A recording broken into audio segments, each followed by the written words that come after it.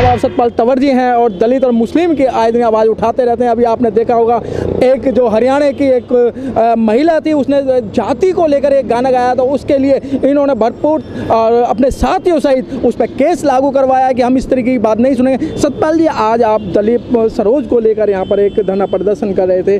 तो उसका क्या एक तात्पर्य जो इस तरीके मुस्लिम और दलितों पर जो आक्रमण हो रहे हैं? दलित समाज और मुस्लिम समाज को ऐसा बना करके रख दिया कि इस देश का नागरिक, दलित और मुस्लिम है ही नहीं। मुसलमानों को तो सरेआम कहा जाता है कि वो आतंकवादी हैं और दलितों को देश का गद्दार कहा जाता है। दलितों को गुलाम बनाने के रखने की कोशिश की जाती है। अगर दलित पढ़ता है, आगे बढ़ता है तो उसके बाद उनके ऊपर हमले किए जाते हैं, उनकी हत्याएँ की जाती है। दलीप सरोज, इलाहाबाद में जो एक गरीब परिवार का लड़का इलाहाबाद में एलएलबी की पढ़ाई कर रहा था, उसके बाद उसकी हत्या मात्र इस वजह से कर दी गई कि जरा सा पैर टच हो गया था उस व्यक्ति के साथ। जाति का पता चला तो इसके बाद उसे जान से मार दिया गया और बहरेमी से ही मारा गया उसको।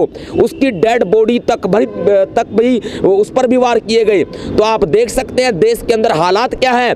अगर देश में प्रधानमंत्री मोदी जी हैं तो प्रधानमंत्री मोदी जी को आरएसएस ने प्रधानमंत्री के पद पर सरकार ने नियुक्त नहीं किया। मंत्रिमंडल ने प्रधानमंत्री मोदी को नियुक्त नहीं किया। मोदी को अगर नियुक्त किया है तो आरएसएस ने नियुक्त किया है दलितों को और मुसलमानों को छिन भिन करने के लिए, उनका कत्ले आम मचाने के लिए।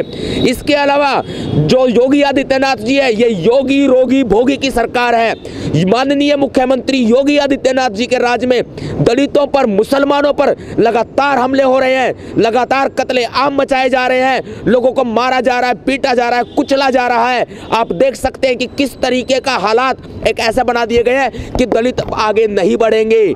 उन्हें मारा जाएगा, कुचला जाएगा, लेकिन आगे नहीं बढ़ने दिया जाएगा। ये हालात पूरे देश के अंदर पैदा कर दिए गए हैं। सतपाल तंवर जी, इसको कैसे रोका जाएगा? क्या एक आपके पास रणनीति है जो आप इसको रोकेंगे?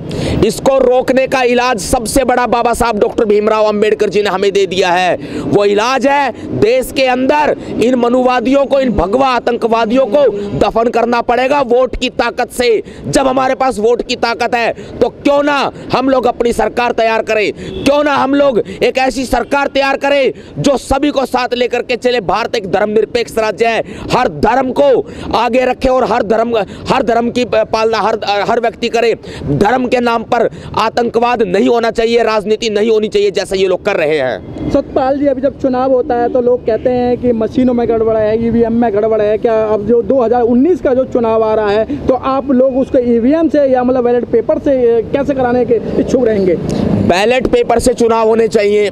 और मैं आपके चैनल के माध्यम से भी बाकायदा कह देता हूँ और जितने भी लोग इस इसको देखें और शेयर ज़रूर कीजिएगा, क्योंकि मैं इस बात को अवश्य कह देता हूँ कि अगर बैलेट पेपर से सरकार ने चुनाव नहीं कराए तो हम ईवीएम का विरोध करेंगे और अपने अपने बूथों पर हम लोगों ने टीमें अपनी तैयार कर ली है। हम हर बूथ के ऊपर हम ईवीएम मशीन जाने नहीं देंगे अगर बैलेट पेपर से चुनाव नहीं कराए गए तो। धन्यवाद। आपते नवाब सतपाल तंवर जी इनकी मांग है और जो दलित और मुस्लिमों पर इस तरीके के जो आक्रमण हो रहे हैं अत्याचार हो रहे हैं उनको रोका जाए और रोकने का एक ही तरीका है जो बाबा साहब डॉक्टर भीमराव अंबेडकर ने जो संविधान बनाया उस संविधान के तहत वोट का अधिकार है वोट के अधिकार के तहत उन आ, सरकार को हमें गिराना होगा और सरकार अपनी बनानी होगी। अगर आप आपको सत्ता में आना है तो ये ईवीएम को हटाकर बैलेट पेपर से ही चुनाव कराना होगा। कैमरामैन गौतम के साथ मनोज पल यूपी भवन से।